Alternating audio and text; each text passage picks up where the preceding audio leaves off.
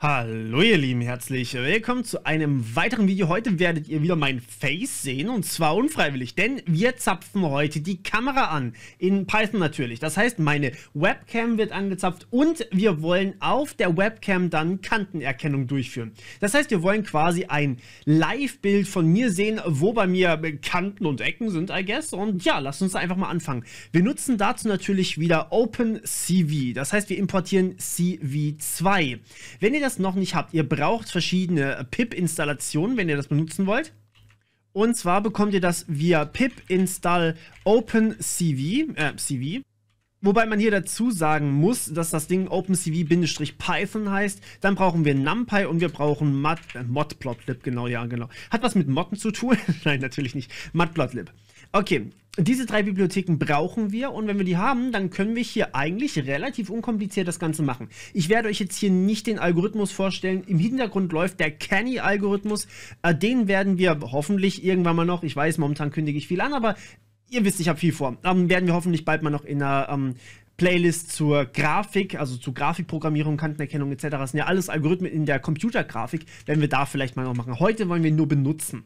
Das heißt, ähm, was wir benutzen wollen, ist natürlich erstmal die Kamera. Äh, die Kamera sagen wir hier mal Cam dazu und holen uns die über CV2, also OpenCV.Video Capture von 0. Ähm, diese Video Capture ist quasi, naja, alle möglichen Eingabegeräte, die eine Kamera darstellen. Und von null ist eben meine erste Kamera. Jetzt kann es bei euch natürlich sein, dass das nicht direkt an erster Stelle liegt. Die Kamera, falls ihr mehrere angeschlossen habt, die ihr verwenden wollt. Ich habe nur eine Webcam angeschlossen, das ist meine richtige Kamera.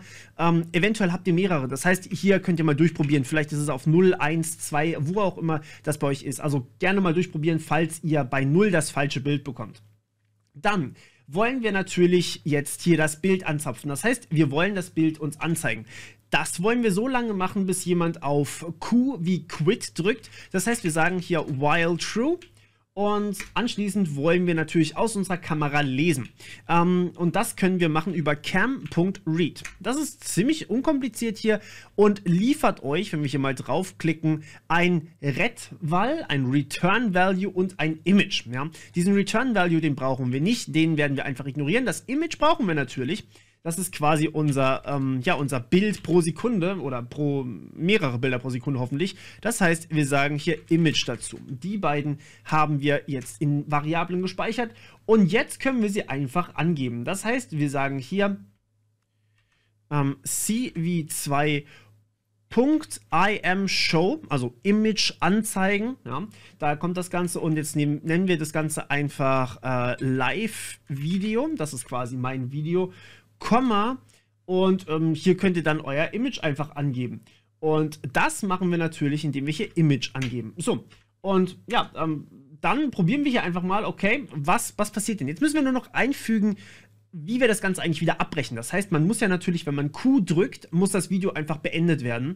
Und wir wollen jetzt nicht irgendwie einen Taskmanager aufrufen müssen, um das Ganze wieder abzuschießen. Das ist ein bisschen umständlich. Deswegen sagen wir hier natürlich, okay, wir ähm, sorgen dafür, dass wenn wir einen Buchstaben drücken oder ein, eine Taste drücken, in dem Fall wäre das Wait Key von 1, und wenn wir auf eine Taste drücken und das Ganze ist unser Q, ja, das ist ein Q, dann wollen wir das Ganze beenden. Leider muss man für OpenCV Wait Key muss man das Ganze umkonvertieren in eine Zahl und zwar mit Ort, ja, also die, die Order. Ähm, und dann wollen wir die While-Schleife hier beenden, das heißt, wir breaken da raus. Und wenn wir hier fertig sind, müssen wir natürlich nochmal OpenCV ordentlich beenden. Das heißt, wir müssen hier erstmal dieses IM-Show beenden und wir müssen äh, OpenCV quasi, also die Kamera wieder äh, loslassen. Das heißt, wir sagen hier ähm, cam.release das ist quasi Kamera loslassen und wir sagen, wir hätten gerne alle Bilder, die von OpenCV oder alle Fenster, die von OpenCV erstellt wurden, wieder geschlossen. Das heißt, destroy all windows.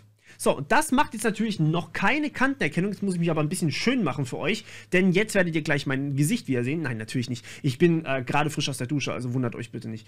Ähm, und das sieht dann so aus. Ja, Hallöchen. Hi. Und natürlich seht ihr hier ein bisschen im Hintergrund, dass das Ganze nicht richtig eingestellt ist. Ich habe den Fokus ein bisschen daneben gezogen. So. Und ja, jetzt sehen wir hier, okay, da ist offensichtlich ein Bild dran. So, ähm, wenn ich das Ding jetzt hier schließe, kommt es einfach wieder, weil, warum haben wir das? Naja, wir öffnen ja hier mit I Am Show die ganze Zeit quasi wieder unser, ähm, unser Fenster neu. I Am Show öffnet euer Fenster wieder neu. Wir müssen diese Wild True Schleife hier beenden und deswegen haben wir hier dieses CV Wait Key drin. Das heißt, wenn ich jetzt hier Q drücke, dann beendet uns das Ganze und ja, alles ist wieder back to normal sozusagen. Okay, jetzt ist das natürlich nur der erste Teil des Videos, den ich euch gerne zeigen wollen würde, denn wir wollen auch noch Kantendetektion machen und zwar in einem zweiten Fenster. Das geht ohne Probleme in OpenCV. Wir können einfach zwei Fenster machen, eins mit meinem Bild und eins mit der Kantendetection. Dazu braucht man aber normalerweise ein Schwarz-Weiß-Bild. Das heißt, wir müssen erstmal unser Bild in Schwarz-Weiß konvertieren. Also machen wir das am besten mal hier oben drüber, dann haben wir nicht so ein Delay dazwischen, weil wenn ich erst hier was berechne und dann euch das zweite Bild zeige und das davor zeige, dann könnten die so ein gewisses Delay haben. Das könnte ein bisschen zu, ähm, naja, Unschönheiten führen.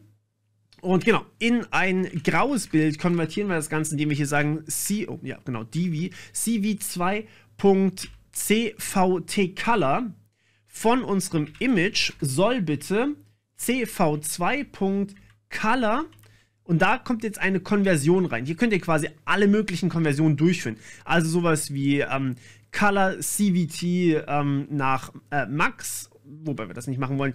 Ähm, aber wir können hier einfach sagen, ich hätte gerne BGR.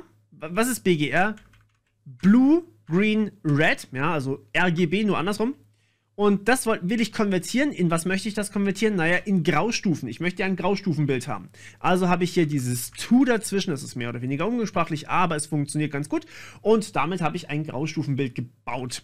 So, jetzt könnte ich natürlich hierher gehen und mein cv2.imshow eingeben und euch hier meinen äh, Gray, ups, Gray Scale zeigen. Und das mache ich natürlich mit Gray. Okay, wenn ich das jetzt starte, dann sehen wir hier, ich kriege zwei Fenster. Eins ist in Farbe und eins ist schwarz-weiß. Wunderschön das Ganze, oder? Ja, jetzt, ähm, das ist nicht unbedingt das, was wir haben wollten. Deswegen wollen wir natürlich ein anderes Bild machen. Und zwar, wir wollen aus dem Graustufenbild ein tatsächliches Kantenbild bauen. Das heißt, wir sagen hier einfach mal Edges dazu. Edges, Englisch Kanten. Und ähm, das bedeutet, wir sagen hier CV2. Punkt. Wie hieß der Algorithmus, den ich euch benutzen lassen wollte? Er hieß Canny. Ja, äh, hat nichts mit South Park Kenny zu tun, der stirbt hoffentlich nicht weg.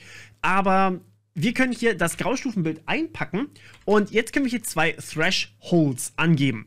Diese Thresholds, die sagen sozusagen, wie sensibel soll euer Graustufenbild sein, beziehungsweise, beziehungsweise euer Kantenbild. Ähm, und das hängt jetzt stark mit dem Algorithmus zusammen. Ich zeige euch den ganz kurz mal auf Wikipedia. So, ähm, das Ding ist ein bisschen länger in der Mathematik. Ihr seht, das Ganze, der Artikel ist relativ umfangreich und wir haben hier irgendwas mit Integralen von minus unendlich bis plus unendlich über die erste und zweite Ableitung. Das muss man nicht machen. Ähm, es gibt eine sehr, sehr geile Ableitungsmatrix, beziehungsweise eine, ähm, ein Sobel-Operator heißt das Ding, und zwar jeweils in x-Richtung und in y-Richtung. Das heißt einmal die Kanten in der Breite des Bildes, das sehen wir hier oben, und in der Höhe des Bildes. Das heißt, ihr seht hier, das war beides mal ein Haus, ja. Aber hier finden wir einmal die Kanten auf der x-Achse, das heißt die, die von rechts nach links gehen, da gibt es Kanten und Kanten von oben nach unten finden wir hier unten. Und hier habt ihr beides mal die Matrix und die wird einfach quasi über die Pixel drüber gelegt. Wenn ihr ein bisschen Ahnung von Computergrafik habt, dann reicht das für euch. Ansonsten ist das nicht so schwer. Was ich, oder nicht so wichtig vor allem auch, was ich euch allerdings zeigen möchte, ist vor allem hier an diesen Bildern. Das hier bedeutet, ihr habt hier mehr oder weniger auch ein Graustufenbild. Welches davon eure Kante ist oder welches nicht, das entscheidet ihr. Das bedeutet, wir sehen hier, okay, ich habe hier normalerweise so ein ganz normales Grau. Das sagt mir halt quasi gar nichts aus. Aber ich kann einmal in Richtung Schwarz gehen. Das sehen wir hier.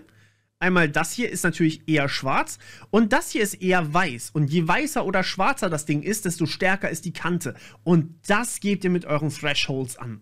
Und deswegen kann man hier auch relativ gut sagen, okay, wir wollen hier zum Beispiel Thresholds, die haben sich bewiesen, dass, äh, oder be, ja, die waren vorhin, als ich es getestet habe, ganz gut.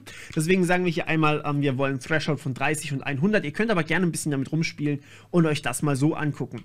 So, und jetzt sagen wir hier, wir wollen einmal ähm, kein Grayscale mehr haben, Edges haben und wollen uns mein Video in, mit Kanten anzeigen lassen. Ich bin mal gespannt, ob mein, mein Bart schön kantig wird. das werden wir gleich sehen. Okay, ja, und hier sehen wir es. Das sind die Kanten. Im Hintergrund sehen wir, mein, mein Hintergrund ist ein bisschen kantig, mein Playbutton ist ein bisschen kantig, mein, übrigens, das ist kein Ofen hier, ja. Aber manche von euch dachten, das wäre ein Ofen. Das ist kein Ofen, das ist mein Schrank. aber das ist schon, äh, schon tatsächlich ein bisschen kantig. Mein Mikro ist ein bisschen kantig. Aber wir sehen, das Ding ist eigentlich ziemlich gut, ja. Wir sehen hier einzelne Teile von meinen Zähnen sind ein bisschen kantiger. Und natürlich mein Bart ist schön kantig. Ähm, was natürlich hier ein bisschen schwierig ist, ist, dass bei jedem Bild das Ganze neu berechnet wird. Und es ist nicht immer dasselbe. Also wir sehen hier hinten, flackert es ein bisschen. Aber ähm, ich glaube, so generell zu erkennen, was wo ist, das ist schon ziemlich gut. Was kann ich jetzt damit machen? Naja, der große Vorteil ist natürlich, wenn ich weiß, wo die Kanten sind, dann kann ich sagen, okay, der Teil gehört zum Vordergrund, der Teil gehört vielleicht zum Hintergrund. Wir sehen hier, ein ähm, Algorithmus würde jetzt zum Beispiel hier diese Kante entlang gehen, weil ich bin sozusagen im Zentrum von diesem Ding.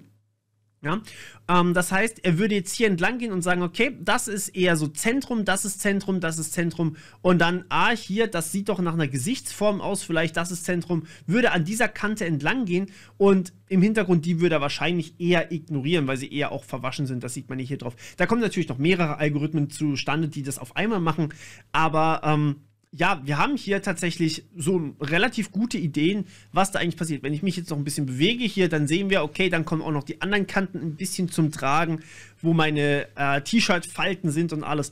Genau, und dann haben wir eigentlich schon alles, was wir wollten. Ja, ich hoffe, es hat euch gefallen, ein bisschen mit OpenCV rum zu experimentieren. Wir hören uns wieder beim nächsten Mal. Bis dann. Ciao.